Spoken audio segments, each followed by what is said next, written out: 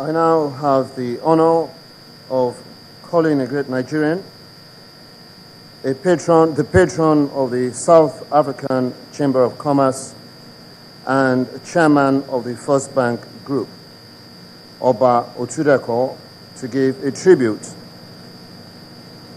for the late Madiba.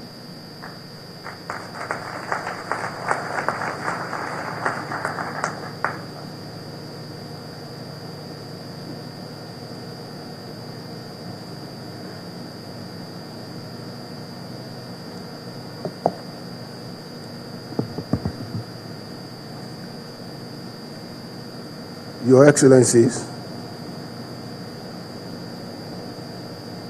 my Lord, distinguished ladies and gentlemen, I rise with thanksgiving to the Almighty God to offer this tribute for a profound and impactful life as we commiserate with His Excellency Dr. Jacob Zuma and the great people of South Africa on the passing of Madiba, His Excellency President Nelson Mandela. As painful as his passing may be, I believe that this is no time to mourn. Rather, it is a time to celebrate a truly iconic life of the one who has been aptly described as the father of modern South Africa and a great citizen of the world.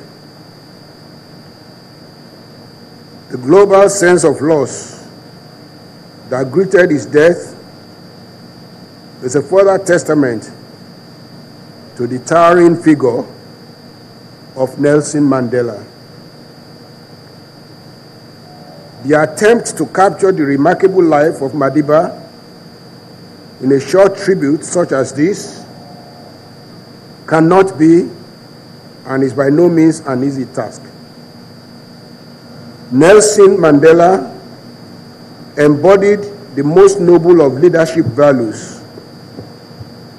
principled co- conviction, love, doggedness, courage, humility, forgiveness, and loyalty.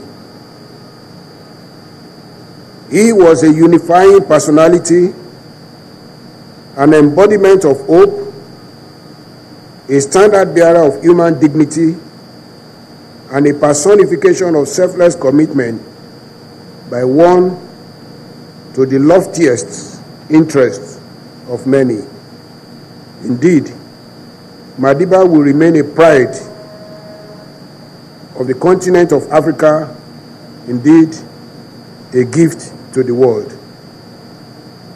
As we celebrate the enigmatic life of Nelson Mandela, we can only pray that the whole of the African continent will continue on the path of charity, of peace, progress, and honorable commitment to Commonwealth for all, so that the flame of hope and possibilities which Nelson Mandela ignited will remain eternal.